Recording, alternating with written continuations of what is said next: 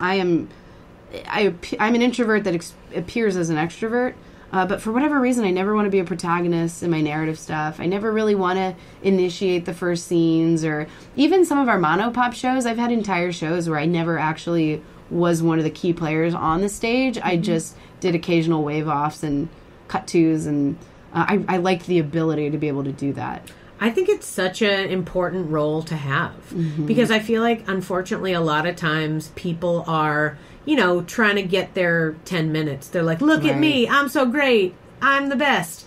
And I mean, those people don't often spend a lot of time in improv, to be honest. But, um, like, there are certainly people who will enjoy their time being the lead players and never um, allow to be a supporting person, you know, and and in the less toxic version of that, it's nice to have a partner partner in your team to, that will be the side player. I mean, mm-hmm. I love doing support roles.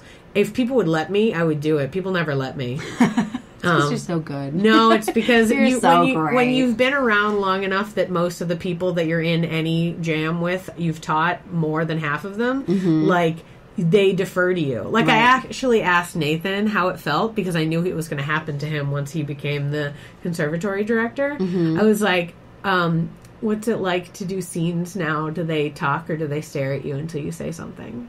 Because that's what they do. Like every scene I'm in, forever, anytime, people I walk on, and then people just look at me and wait. Mm-hmm. And I'm all like, all right, I guess I'll have the first line. But usually I like to be like, hey, I don't know who knows what I what I what part I can play. I can be here for you. What do you got? What do you mm-hmm. got? But you know, people oftentimes just and they and Nathan said they did it to him too. Like after a while, when a lot of the people in the jam were students that he had taught, mm-hmm. they would walk onto a scene with him and just defer to whatever he wanted. And it was like, no, man, embrace it. Take whatever you want. We I wanted still, to give you the power. I still get like that with Nathan. Like there's even Lisa. I'm in a weekly troupe with her. I've been performing with her for eight months now, and for whatever reason, improv is a funny world where, like, if someone's had a year more of experience than me, they're God and I can't touch them, so I should just kind of bow down.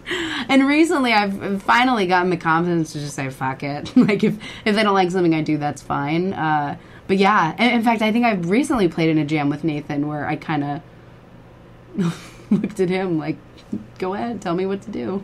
I feel about different levels of experience in a troupe uh, the way um, a couple a couple months ago I worked an event at the theater that was not a theater event.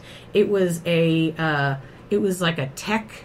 Uh, tech companies got together to have a discussion on diversity.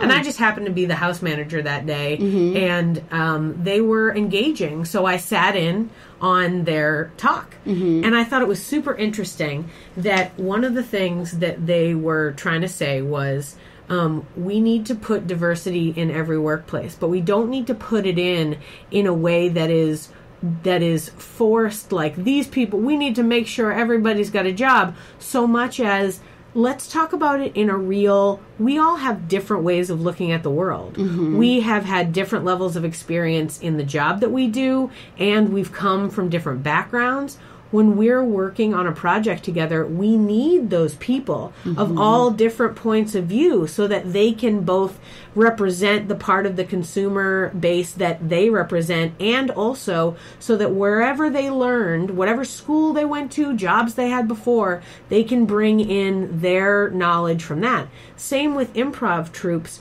people of different levels and from different places. I think it's so important because it's like we're all receiving the information in different ways. We've all taken different levels. Mm-hmm. Um, the people that taught us were different than you know what how it works out.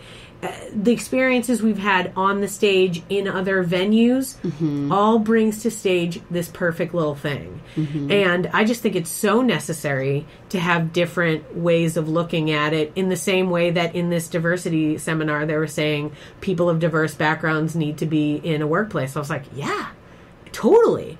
Absolutely. And it was a perfect way to describe how you can put something together. Right. Well, in improv, it's so important to have diversity, but then I also do find value in like watching the same improv together and uh, doing, like seeing and doing the same improv to get on the same page. Uh, mm. Because just I've found that when I improvise, let's say with people from all different theaters, like some of the worst jams I've done have been people from all different backgrounds together using their personal techniques and styles and it just doesn't mesh but then when you're able to get those people together like channel 2 uh, and they spend time together they get to know each other they kind of watch some of the same shows together and once they're on that same page it's the most beautiful work of art on a stage i've seen Oh yeah, channel 2 is a great example of that anyone Yeah. listening to this needs to go watch them yeah absolutely. Um, yeah, they're very fun. Um, but I mean, I feel like that's almost the uh, literally. Uh, in the example of the diversity thing, uh, like mm, seminar that I, they were like, yeah, it is going to be hard that first time. The first time, it's going to feel real clunky. And you're right, in a jam where it's a bunch of strangers that haven't worked together. But every job, every you know team, whether it's at a tech company or an improv troupe, are people who over time get to know each other, can use their skills. I mean, we can't if I met somebody for 20 minutes, I can't really use every skill that I truly have because I don't know Right. what's necessary for our conversation. I don't know, you know. I I pick and choose based on how I feel like it works in the moment. Mm-hmm. And if I'm if I do a jam and I think a bunch of people are going to defer to me, I try to give them scenes they want to do right like that's another part of teaching that I think is really important. I use level one to make people less scared um, of putting their ideas out there, no matter what those ideas are. And so part of what I do is I make their job not just to say stuff out of their mouths, but also to um, pay attention to the other people. Mm-hmm. And not only do I say it's really important for you to know each other person in this room because someday you're going to be in a scene with them. And if you know he loves making sci fi references, you know what to tell him to get him really interested immediately in the scene. Or if this person constantly plays, you know, animal characters, yep, you know, you can swing right in and you know they like that. So they're gonna, you know, see what choices they make on their own. Mm-hmm. And then that's what you know of them. You can give them what they like.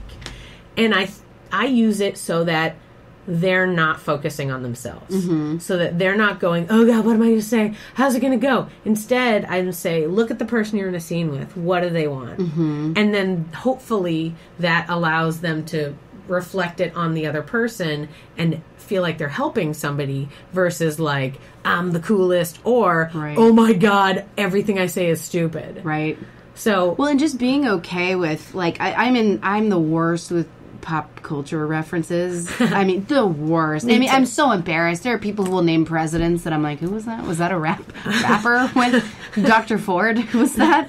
Uh, but just being okay with a not knowing.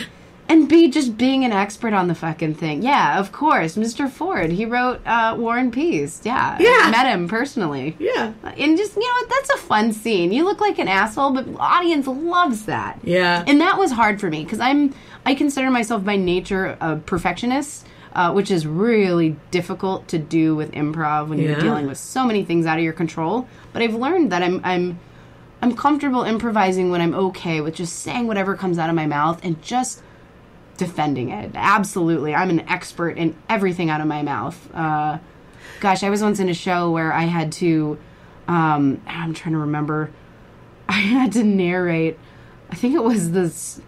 Oh no, I'm gonna sound like an asshole even trying to remember what the name of it was. It was like the Spanish Inquisition, and of course that's like a word I remember from seventh grade. But outside of that, I don't know. A bunch of Spaniards that were curious. I don't know. a lot of questions. They Yeah. inquiries. they were yeah. collaborating with the French, I'm sure. Sure. Collaborations all over history. Exactly. Uh, but then we ended up having a really great improv scene that came from the Spanish collaborating with the French. I love to re uh, take words uh, that people think mean one thing for sure and change it totally. oh, yeah. Oh, those are the most fun.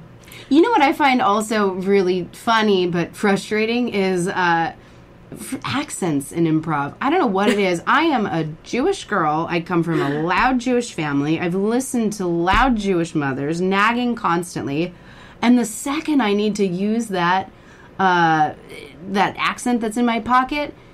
Like German comes out or Oh, yeah. Swedish. It's it's like I can't do it. And then you get home in the car and you're like, where the hell was that? But the audience eats it up. I Yeah. mean, I I once had to do a. I had to do an improvised uh, stand up routine as Elmer Fudd a couple weeks ago. And I didn't remember what he sounded like, so I just picked a name. I picked a stutter and just committed to it. Uh, and in no way is that Elmer Fudd in any way, shape, or form. And I then did a 10 minute stand up routine as a fucked up Elmer Fudd. And the audience loved it. but I've also had plenty of fails by that logic as well. Oh yeah, I mean sometimes they're with you and sometimes they're not. Yeah. I think sometimes if you just try, then the uh, audience will be happy to be have your back in that moment. um, usually it's it's like uh, I try to use uh, a little bit of the like you like me right? Come on. yeah. Um, I'm horrible with accents, though. My husband makes fun of me so much. We watch, we were watching a television show the other day where there was a character that was uh, Jamaican, and that person on the screen was doing a proper Jamaican accent. And my husband goes, "Oh, that sounds like your Irish accent," and I was like, "Yeah, Let's- thanks." Let's hear it. It, no, I can't. No, I bad? swear it's so bad. I start with like I always go like, "Don't you know?" And I'm like, "Nope, that's Minnesota." and I'm like, "Oh, getting the oh, I can't even do it." Yeah, it's like some in the Shire. geriatric. I, it gets horrible. I end up moving. Yeah, it's like Minnesota to Irish to Jamaican. But you know what? It lands what. for people like me who don't know pop culture or any references. So to me, I'm like, that sounds like a great Jamaican accent. I don't know why people are scoffing. But it's like you're talking too about like the accents you have in your back pocket. I grew up in Boston. You'd Mm-hmm. think that I'd have a good Boston accent. I can't do it. I end up doing the horrible Kennedy one. The Kennedy one's wrong. no one sounds like the Kennedys. Only the Kennedys sound like the Kennedys. No one Well, else I'm sounds trying to like think them. of what an actual Bostonite sounds like. Oh, trying to think. Oh no, I'm putting you under the Uh, pressure. no, again. it's it's like uh, it's like They're if you if you right? took a lot of um, drugs and then your your tongue was like, uh, listen, uh, there's just I remember when I, I got my wisdom teeth taken out, my accent was very strong, and I was like, oh, it's back. they packed the car, right? Um, I, Oh, I is that- it's more God, like no, that one's it. That's what everyone says. Park the car and have it. Yeah, yeah, that's how they do it. But uh, usually, I I try to get into it with uh, you like these apples. You know, that's my. You know, if you if you wanna you wanna jump right in, uh, or you think you're better than me, there you go, that was good. there you go. You think you're better than me? See, that's the number one. You don't have time to workshop this in an improv scene, unfortunately. Yeah, see? So, no, yeah. and I'm not confident in it. If I were confident just to jump in it, sure. Um, I need to take a class in it because they say you can come up with like a touchstone phrase and that that'll just like make you go into it. Get it like going. you can use that and just say that one line and then it'll just and then you're just in the accent. If you uh, you know exercise that part of your brain, I suppose it's like anything. Yeah, I, I actually downloaded an app. I was at a UCB show a couple years ago in New York, and I was so impressed with how these guys were able to pull these accents out of their pants. Uh, and I downloaded an app on my phone that is supposed to teach you different dialects. Uh, and so I tried to spend about a week learning how to speak like a proper Boston accent and New Yorker and like to differentiate how to speak like people from London.